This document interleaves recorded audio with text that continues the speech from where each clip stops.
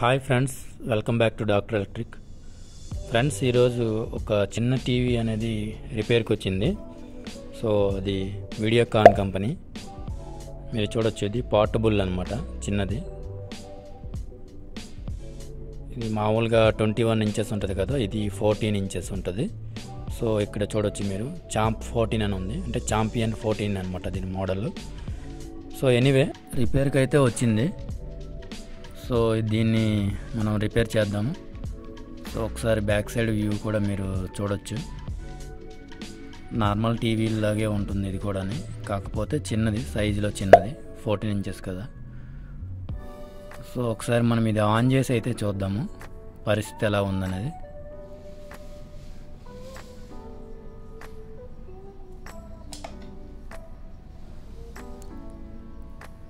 చూసారు కదా? ఏం రావట్లేదు స్క్రీన్ మీద. నెక్స్ట్ మనకి ఇండికేటర్ కూడా ఎలగట్లేదు. పవర్ బటన్ పక్కన ఒక ఇండికేటర్ ఒకటి ఉంటుంది. అది కూడా వెలగట్లే. సో కీస్ ఆన్ చేసి చూశాను. అది కూడా ఏం రెస్పాండ్ అవ్వట్లేదు.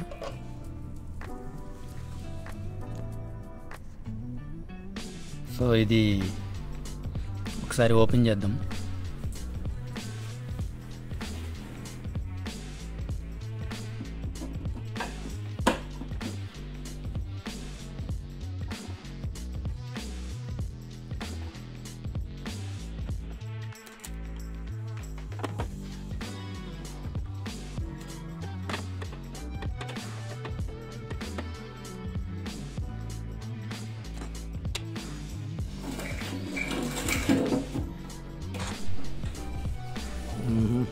లోపల చూసారా ఎలా ఉందో? ఫుల్గా బూజు పట్టేసింది మొత్తం. అంటే ఎప్పుడూ ఓపెన్ చేయం కదా ఇది. కస్టమర్ కూడా ఎప్పుడు ఓపెన్ చేయడు. సో అందుకే ఇది ఎలా ఉంటుంది? ఎప్పుడైనా రిపేర్ చేసేటప్పుడు మాత్రమే ఇది మనమే క్లీన్ చేసుకోవాలి. సో ఒకసారి మనం క్లీనింగ్ కూడా చేసుకుందాం ఇది. ఫస్ట్ అయితే మనం ఒకసారి ఓపెన్ చేద్దాం బయటికి.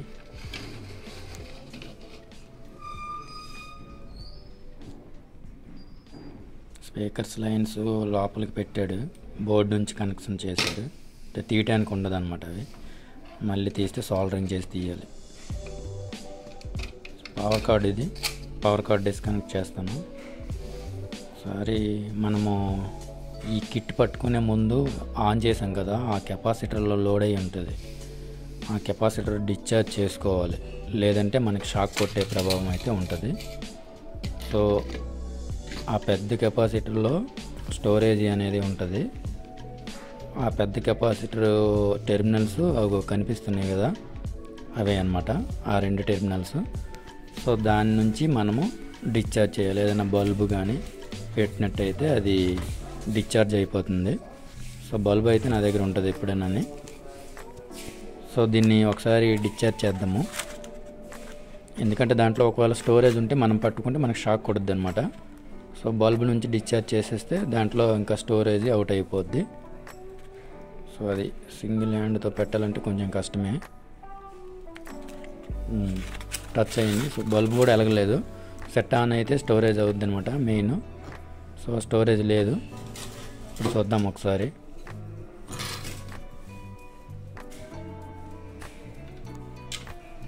చూసారా బూజు లోపల ఉన్న దుమ్ము ఎలా ఉందో ఫుల్గా ఉంది. సో మనకి ట్రాక్లు ఏం కనిపించవు. ఒకసారి మనము అదంతా క్లీన్ చేసుకున్నట్లయితే బాగుంటుంది. సో ఇది ఒకసారి క్లీన్ చేద్దాం ఫ్రెండ్స్. ఈ నెక్ బేస్ ఓపెన్ చేసి బోర్డుని బయట తీసుకుందాం. ఈ నెక్ బేస్లో చూడండి గ్రౌండ్ బాగా ఇచ్చాడు. పిన్స్ ఇవ్వలేదు బాగుంది ఇది. మామూలుగా అయితే మనకి టెర్మినల్ పిన్ టైప్ ఇస్తాడు గ్రౌండ్ కనెక్షన్ ఇది. కానీ దీనికి బాగా ఇచ్చాడు అనమాట మనము ప్రెస్సింగ్ టైప్ అనమాట మనకి స్క్రీన్ ఫోకస్ ఎలా ఇచ్చాడు ప్రెస్సింగ్ దీనికి కూడా అలాగే ఇచ్చాడు. సో ఇది మనం బయటికి తీసుకుందాం.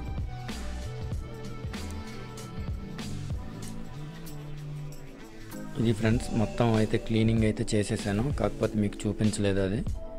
క్లీన్ చేశాను. బోర్డు నీట్గా కనబడుతుంది. మీరు చూడొచ్చు.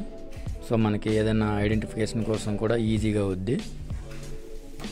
ఇప్పుడు ఒకసారి పెట్టి అయితే చూద్దాము. పవర్ కార్డు చూసారా? పవర్ కార్డు పెట్టగానే అక్కడ చివరిలో వెలుగుతుంది. కాకపోతే ఫస్ట్లో మనకి బయట నుంచి కనిపించలేదు. కానీ లోపల నుంచి చూడొచ్చు. ఇండికేటర్ అయితే వెలుగుతూ ఉంది. కానీ స్టాండ్ బైలో ఉంది. ఇప్పుడు కీస్ ఆన్ చేస్తే యాక్చువల్గా సెట్ ఆన్ అయిపోవాలి. ఆన్ అవ్వాల. సో మనం ఒకసారి వోల్టేజ్లన్నీ చెక్ చేసుకుంటూ పోదాము. ఇక్కడ త్రీ హండ్రెడ్ వోల్ట్స్ కెపాసిటర్ ఉంటుంది కదా మెయిన్ క్యాన్ దాని మీద త్రీ హండ్రెడ్ నుంచి త్రీ ఫిఫ్టీ వోల్ట్స్ అయితే ఉండాలి. సో అక్కడ వరకు ఉందా లేదా చెక్ చేయాలి ఫస్ట్ ఎస్ఎంపిఎస్లో చూస్తున్నారు కదా అదేని పెద్ద టెర్మినల్స్ ఉన్నాయి అదే మెయిన్ క్యాన్ చూసారా? త్రీ ఎయిటీన్ త్రీ నైన్టీన్ వచ్చింది. అంటే అది ఓకే అనమాట త్రీ ఫిఫ్టీ లోపల ఉంది కనుక ఓకే అది. ఇంకొకటి ఏంటంటే వన్ టెన్ అది. వన్ టెన్ వోల్ట్స్ ఇది. హండ్రెడ్ బై వన్ సిక్స్టీ ఉంటుంది. సో ఆ కెపాసిటీ కూడా చెక్ చేస్తే దాంట్లో వోల్టేజ్ ఏం చూపించలేదు. ఇప్పుడు ఎక్కడైతే వోల్టేజ్ చూపించలేదో అది వన్ టెన్ కెపాసిటర్. సో దాన్ని మనం అబ్జర్వేషన్ చేయాలి. ఇదే కనిపిస్తుంది వన్ టెన్. ఇది వరకు మనం చూసింది త్రీ హండ్రెడ్ వోల్ట్స్ది అది మెయిన్ క్యాన్. సో అది ఓకే ఉంది ఇదే ఇప్పుడు ప్రాబ్లం ఉంది. సో ఈ ట్రాక్లు మనం అబ్జర్వ్ చేసుకుంటూ వెళ్ళిపోవాలి. సో ఇది మ్యాక్సిమం మనకి ఎప్పుడన్నా పై నుంచి క్లియర్గా బాగానే కనిపిస్తుంది కానీ కింద నుంచి ఒక్కోసారి డ్యామేజ్ అవుతాయి. సో అది మనకు బయట నుంచి కనిపించవు. ఆ కెపాసిటీని మనం బయటికి తీసి చూసినంత వరకు మనకు తెలియదు సో ఒకసారి మనం ఇదైతే ఓపెన్ చేద్దాము. చేసి బయటికి తీసి ఒకసారి చూద్దాము. టెర్మినల్ దగ్గర ఏమన్నా ప్రాబ్లం ఉంటే రిప్లేస్ చేద్దాం. ప్రాబ్లం లేకపోతే ఇంకా అదే రూట్లో మళ్ళీ ఏమన్నా ఉంటే చెక్ చేసుకుంటూ పోదాం. ఇది ఫ్రెండ్స్ చూసారు కదా టెర్మినల్లో ఒక టెర్మినల్ అనేది అక్కడ ఊడిపోయి ఉంది. అంటే అది డ్యామేజ్ అయ్యిందనమాట కింది నుంచి మీరు అబ్జర్వ్ చేయొచ్చు బాగా. ఒక టెర్మినలే ఉంది దానికి ఇంకోటి లేదు. సో అది బోర్డులోనే ఉంది. అంటే అది డ్యామేజ్ అయ్యిందనమాట సో అది కూడా తీసి పెడతాను ఒకసారి చూడండి.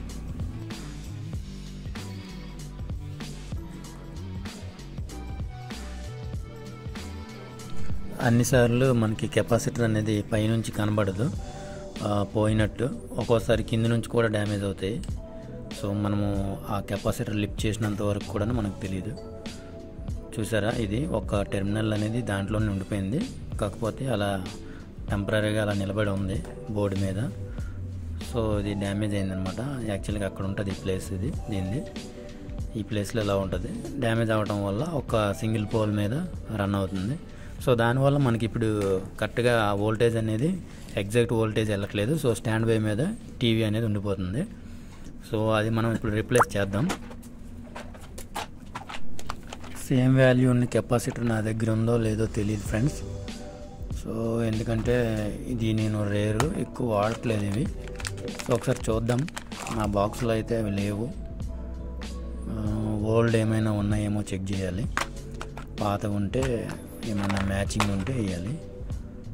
సో నేను ఎతుకుతునే క్రమంలో పాతది కూడా దొరికింది. చూడవచ్చు ఇది సేమ్ ఉంది. టూ ట్వంటీ వన్ సిక్స్టీ అయితే రాసింది. సో ఇది మనకి కరెక్ట్ రేటింగ్ అనమాట ఏదైతే మనం పాతది తీసామో సేమ్ రేటింగ్ ఉంది కెపాసిటర్. మీరు చూడొచ్చు. టూ ట్వంటీ వన్ సిక్స్టీ ఉంది. సో మనం దీన్ని బోర్డులో అయితే రీప్లేస్ చేయొచ్చు. ఎందుకంటే సేమ్ వాల్యూ ఉంది కనుక. ఇది పాతదే. ఇది పడేద్దాం. కొత్తది ఇది ఏదైతే ఉందో అది బోర్డులో అయితే రీప్లేస్ చేద్దాం. చేసిన తర్వాత ఒకసారి టీవీ కండిషన్ ఎలా ఉందో చెక్ చేద్దాం.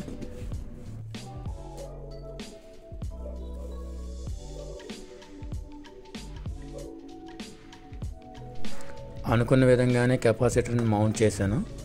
సో నెక్స్ట్ ట్రాక్స్ ఏమన్నా డ్యామేజ్ అయ్యాయేమో చూడాలి. సో ఫ్రెండ్స్ మీరు ఇటువంటి మ్యాగ్నిఫైయర్ని అయితే తీసుకోండి. సో దీనికి చిన్న లైట్ కూడా ఒకటి వస్తుంది.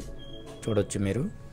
ఇటువంటి లైట్స్తో మనం అక్కడ ఏమైనా ట్రాక్స్ ఏమన్నా ప్రాబ్లం ఉంటే మనం ఈ మ్యాగ్నిఫైయర్లో నుంచి చూసి ఐడెంటిఫికేషన్ అయితే చేయొచ్చు. సో నేను ఏమన్నా డ్యామేజెస్ ఉంటే ఇలా నేను మ్యాగ్నిఫైర్ని చూసుకుంటాను. ఇది ప్రతి చిన్న అంశం కూడా పెద్దదిగా భూతద్దంలా చూపిస్తుంది. సో దానివల్ల ఏమన్నా డ్రై కంప్లైంట్స్ ఏమైనా ఉన్నా లేకపోతే సాల్డరింగ్ సరిగా కాకపోయినా మనము ఇది మళ్ళీ రెక్టిఫై చేయొచ్చు దీని ద్వారా కానీ సో ఒకటి రెండు కంప్లైంట్స్ లాగా నాకు కనిపిస్తున్నాయి. సో దాన్ని కూడా ఇప్పుడు నేను డ్రై సాల్డరింగ్ కొడతా. అనుమానంగా ఉన్నవి రీసాల్డరింగ్ చేస్తే మనకి ఫ్యూచర్లో కంప్లైంట్స్ అనేవి రావు. అంటే బోర్డు ఒకవేళ కదిపించినా కానీ టీవీలు ఒక దగ్గర నుంచి ఇంకో ప్లేస్కి మార్చినా కానీ మనకి ఎటువంటి ప్రాబ్లం అనేది రాదు. అంటే లూజ్ కాంటాక్ట్ ఉండటం వల్ల మళ్ళీ కంప్లైంట్ అనేది రిపీట్ అవుతుంటుంది. సో డ్రై ఏదైనా ఉంటే సాల్డరింగ్తో రీసాల్డరింగ్ చేసుకోవాలి. ఫైనల్గా బోర్డు ఇలా ఉంది ఫ్రెండ్స్? టోటల్ నీట్గా ఉంది. సో అంతా సెట్ చేసుకున్నాము నీట్గా. సో ఒకసారి నెక్ బేస్ పైన కూడా ఒకసారి చూసుకుందాం. ఈ కేబుల్ టచ్ అవుతుంటుంది. బేస్ కూడా కరెక్ట్గా ఫిట్ అయ్యింది సో ఇది ఓకే ఉంది కనుక ఆన్ చేసి చూద్దాం ఫ్రెండ్స్. ఒకసారి మనం సెట్ను ఆన్ చేసిన తర్వాత దీని స్టేటస్ ఎలా ఉందో ఒకసారి చెక్ చేద్దాం.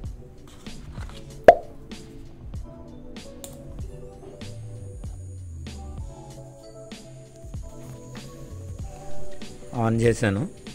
ఫిలమెంట్ గన్ను వెలగటం లేదు. అంటే స్విచ్చింగ్ అవ్వలేదు ఇంకానే. సో ఒకసారి మనం స్క్రూడ్రైవర్తో మొత్తం చెక్ చేసుకుందాం. ఎల్ఓటి క్యాప్ ఏమన్నా లీక్ ఉన్నా లేకపోతే ఎల్ఓటి కేబుల్ లీక్ ఉన్నా కానీ మనకి మళ్ళీ ప్రాబ్లం అనేది వస్తుంది. సో ఇలా స్క్రూడ్రైవర్తో మొత్తం చెక్ చేసుకుంటే స్పార్క్ టైప్ వస్తుంది అనమాట స్క్రూడ్రైవర్కి. వచ్చిన ఏరియాలో లీక్ ఉందని మనం అబ్జర్వేషన్ చేయొచ్చు. సో దీనికైతే ఏం రావట్లా. సో లీక్ అయితే లేదు. కనుక ఇప్పుడు సెట్ని ఒకసారి ఆన్ చేద్దాం.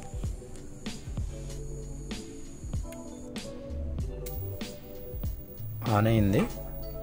ఫిల్మెంట్ గన్ కూడా వెలిగింది. ఇప్పుడు ఒకసారి టీవీని చూద్దాం. ఇది ఫ్రెండ్స్ టీవీ ఆన్ అయిపోయింది.